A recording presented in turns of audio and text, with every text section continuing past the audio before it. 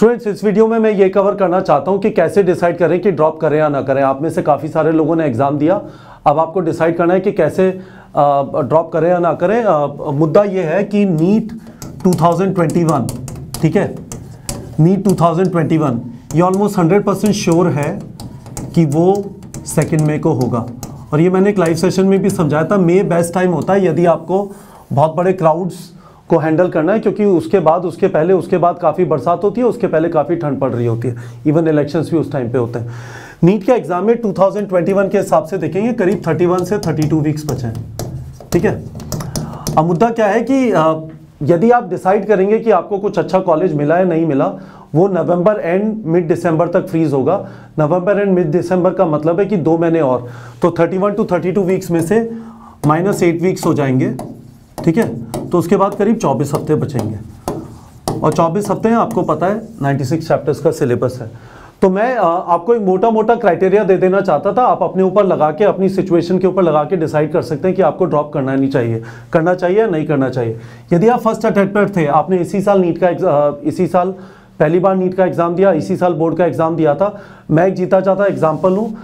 मेरा पहली बार में सिलेक्शन नहीं हुआ था ड्रॉप करके आईटी दिल्ली में सिलेक्शन हो गया था। आप लोग ऑब्वियसली आईटी की तैयारी नहीं कर रहे और मैं एक बुढ़ा हूँ बीस साल पुरानी बात कर रहा हूँ, ठीक है? पर मुझे जेनुइनली लगता है कि यदि आपने बोर्ड एग्ज़ाम और नीट एग्ज़ाम साथ में दिया है तो बहुत सारे बच्चे उस चीज़ को मैनेज नहीं कर पाते, वो आपका ट्रू कैपेबिलिटी रिफ्लेक्ट नहीं करता है, ठीक है? तो इसलिए मैं आपको स्ट्रांगली रेकमेंड करूँगा, जिन्होंने पहली बार एग्ज़ाम दिया था, उनको एग्ज़ाम ज़रूर देना चाहिए, ठीक है? उनको एग्ज़ाम ज़रूर देना चाहिए। आप ऐसे भी सोच सकते हैं कि आपका दिसंबर तक कहीं पे एडमिशन हो भी जाता है। बाय एनी चांस है ना? या आप प्रेशर में है बीएससी एमएससी में एडमिशन ले लेते हैं डेंटल लेते हैं जो मिल रहा है आ, आ, ले लेते हैं। आपकी क्लासरूम क्लासेस तो स्टार्ट नहीं होंगी मई के एग्ज़ाम से पहले ठीक है? तो कोई प्रैक्टिस वगैरह तो कर नहीं पाएँगे सब ऑनलाइन हो रहा होगा। तो बेहतर है कि आप एक अच्छा शॉट दें और अगले साल एग्ज़ाम दें। जो फ़र्स्ट अटेम्प्टर थे जिन्होंने इस साल ट्वेल्थ का एग्ज़ाम दिया था वो चीज़ क्लियर है।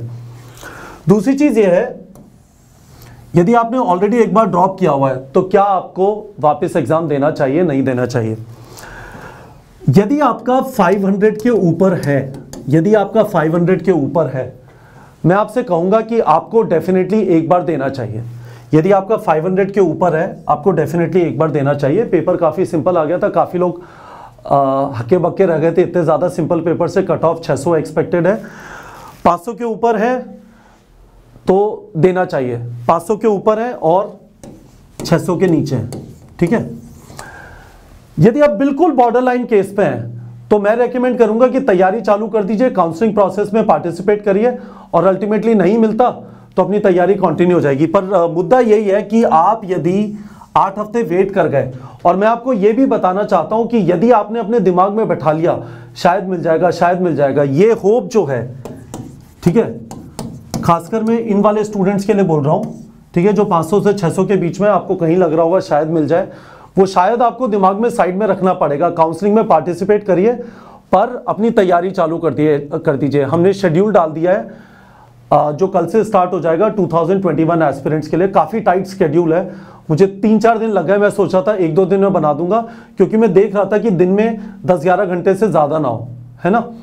तो टाइम कम बच रहा है। और इसलिए बहुत ज़्यादा ज़रूरी है कि आप इस वाली रेंज में आपको सबसे ज़्यादा रिस्क है। आपको यदि दिसंबर में पता चला कि आपको कॉलेज नहीं मिल रहा तो हम काफ़ी सारे स्टूडेंट से जो हमें कॉल कर रहे हैं कि, सर कोर्स चाहिए? उन्हें यही बोल रहे हैं कि, आप अभी से तैयारी चालू करिए।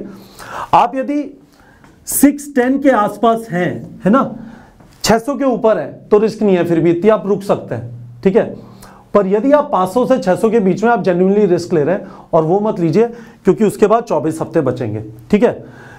जिनके 500 से कम है, जिनके 500 से कम है, आप डिसीज़न इस बेसिस पे लेंगे। और 500 से कम है, मैं इवन कहूँगा, एक तो मैंने बता दिया फ़र्स्ट अटेम्प्टर है। आपके इवन 150 200 नंबर है तो भी वापस अटेम्प्ट करिए। आप अच्छी तरह तैयारी नहीं कर पाए, बाद में कोविड का टाइम मिला, पर मेंटली आप रेडी नहीं थे कि आप पहली बार एग्ज़ाम देंगे, आपने जाके लिख दिया। तो फ़र्स्ट अटेम्प्टर को तो लिखना ही है, चाहे आपका कितना भी स्कोर हो। जो ड्रॉप कर चुके हैं 500 से 600 के बीच में अभी से तैयारी चालू करिए, बिल्कुल भी डिले मत करिए काउंसलिंग करा लीजिएगा, पर काउंसलिंग में टाइम वेस्ट मत करिएगा। जो 500 से कम है, मैं उनको यह रेकमेंड करूँगा कि आपको ड्रॉप करना चाहिए। यदि आप में मोटिवेशन है, ठीक है, और आपको पता है यू नो कहाँ पे फिक्स करनी है problem you know which problem to fix ठीक है? पर यदि आप में मोटिवेशन और खुद में कॉन्फिडेंस नहीं है तो मत करिए वापस तैयारी। मोटिवेशन है एग्ज़ाम देख लिया, समझ में आ गया क्या प्रॉब्लम है डेफिनेटली करिए। और किस केस में मत करिए, आपके आसपास वाले कह रहे हैं, बेटा, कर ले तैयारी, बेटा, कर ले। आपका मन नहीं है, आपका दिल किसी और चीज़ में, बिल्कुल भी मत करिए, बिल्कुल भी मत करिए। यदि आपका खुद का नहीं है इवन मैं फ़र्स्ट अटेम्प्टर से भी बोल रहा हूँ, यदि आपका खुद का मन नहीं है तैयारी करने का, आपके आसपास वाले पुश कर रहे हैं, बिल्कुल भी मत करिए। मैं पेरेंट्स को बोलना चाहता हूँ आपका बच्चा यदि वापस तैयारी करना चाहता है, ठीक है? मुझे काफ़ी सारे लोग का कॉल आ रहा है। सर, आप बच्चे को समझा दीजिए। नहीं, आप बच्चे से बात करिए और आप समझने की कोशिश करिए कि क्या वो सच में तैयारी करना चाहता है, क्या वो डॉक्टर बनना चाहता है। तो यदि बच्चा खुद तैयारी नहीं करना चाहता, यदि स्टूडेंट खुद तैयारी नहीं करना चाहता तो आप तैयारी मत करिए। पर आप करना चाहते हैं मोटिवेशन है और आपको पता है क्या प्रॉब्लम फिक्स करनी है तो डेफिनेटली तैयारी करिए। ठीक है? तो ये मैंने मोटा मोटा आपको क्राइटेरिया बता दिया कि क्या, कैसे आप डिसाइड करें कि आपको ड्रॉप करना चाहिए या नहीं करना चाहिए। आपका फिर भी कुछ क्वेश्चन है? वीडियो के कमेंट्स में लिख दीजिए। मैं आंसर करने की कोशिश करूँगा, पर यह हमारा क्राइटेरिया है। और यदि आप हमारे से तैयारी करना चाहते हैं, हमने शेड्यूल पब्लिश कर दिया है। कल से स्टार्ट हो जाएगा वो शेड्यूल उस शेड्यूल के हिसाब से आप पढ़ेंगे। और पढ़ने के बाद हमारे रिवीजन लाइव सेशन चालू हो जाएँगे। पर यदि आपको तैयारी हमारे साथ करनी है, मैं आपको स्ट्रांगली रेकमेंड करूँगा। अभी से स्टार्ट करिए और क्रैक करने की कोशिश करिए। टाइम अभी बाकी है।